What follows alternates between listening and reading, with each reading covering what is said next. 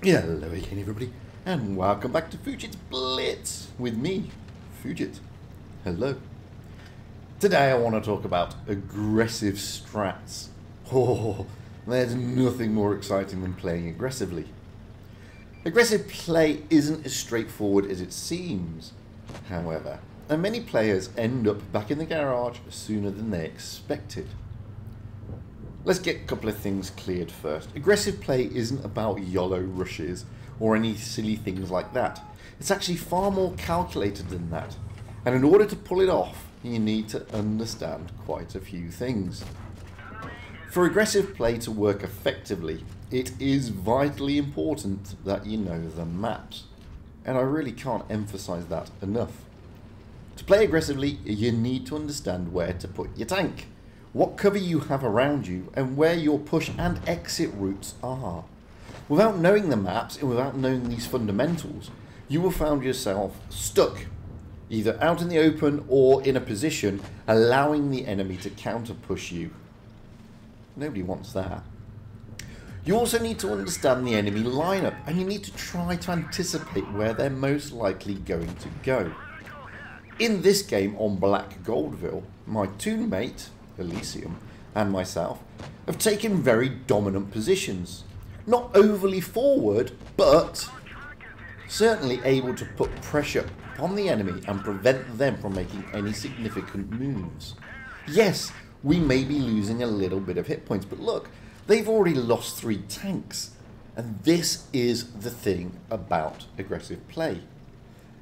It's all about map control. Now, map control is the key to any aggressive playstyle. In fact, it's really the key to winning any game. Without map control, you're automatically on the back foot. And unless you're one of those players who is able to carry those big games, you will end up losing. Map control is exactly what it says on the tin. You control the map. You deny the enemy momentum and you put so much pressure on the enemy that they end up playing your game, not their game. This is exactly what has happened here. Because we controlled the map, the enemy is clutching at straws, trying to find a way to get back into the game.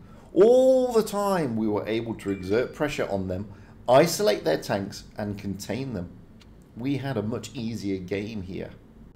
It was easier because we were able to focus fire more effectively, and to, ma to maneuver our tanks into those positions without too much difficulty. I like aggressive play. It's exciting and it's exhilarating. Thing is, don't forget, aggressive play is high risk and high reward. So in order to improve your skills in aggressive play, you need to jump into a platoon first. Jumping into a platoon helps you massively in learning aggressive play and getting it right, you're able to coordinate, you're able to focus fire, and to an extent, you're at least able to control some part of your team.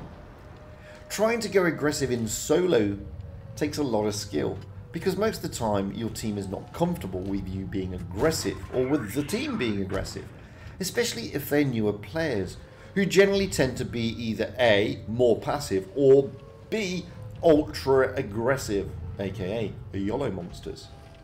As I said, aggressive play isn't about YOLOing into the enemy, unlike what the 50B did on the enemy team. It's about calculated power positions and applying pressure in the right place. Aggressive play is about slowly squeezing the HP out of the enemy, pushing them back, containing them, and when the time is right, pushing forward. You can see in both these games, we ended up taking the battle into the enemy spawn. We deny them any control of the map and any forward movement. This totally disrupts their fluency because they're essentially overwhelmed and end up just firefighting. This is the entire purpose of aggressive play. And once you understand it, it will allow you to bring some of the OP moves into your overall game. Thing is, aggressive play doesn't come naturally. You may think it does, but actually it doesn't. And It takes a lot of effort and understanding before you can master being an aggressive player. Once you have mastered it, you have a formidable weapon in your arsenal. Something that overwhelms the enemy and something that a lot of the enemy is able to, is unable to counter. And as you've seen here, I mean, we have whitewashed this team and we whitewashed the other team. And don't misunderstand me. It's not because the teams are bad. They're not. You know, there's some decent players out there in these teams. They just can't deal with the aggressive strat that we're playing. And as I said in many of my videos, it's not about getting those ace masteries or whatever you are aiming for. It's about winning games. So I'm not setting the world on fire in these games, far from it. But what we are doing, we are controlling the map and really putting the enemy on the back foot. Now, in this game here on Canyon, I'm going to show you how aggressive stats really turn the tide. So, the enemy have put their tanks, you, got the T-62 right over in the corner there where the, uh, where the ACAP normally is. The T-92 is on the middle. We are therefore going to push right into their spawn. We're just going to go super aggressive. We have the tanks on this side. I've got my toon mate Elysium who's playing the two-shot Yoh and I'm playing the three-shot Yoh. And, you know, you can see our bat chat is coming in. Now this poor Kranvagn is going to be completely overwhelmed. That means the T-62A, which was over at the ACAP, is now I have to push all the way around. Their E100s, their two super heavies, are literally stuck scratching their heads in the middle of the map because their T92 went over there to get those spots.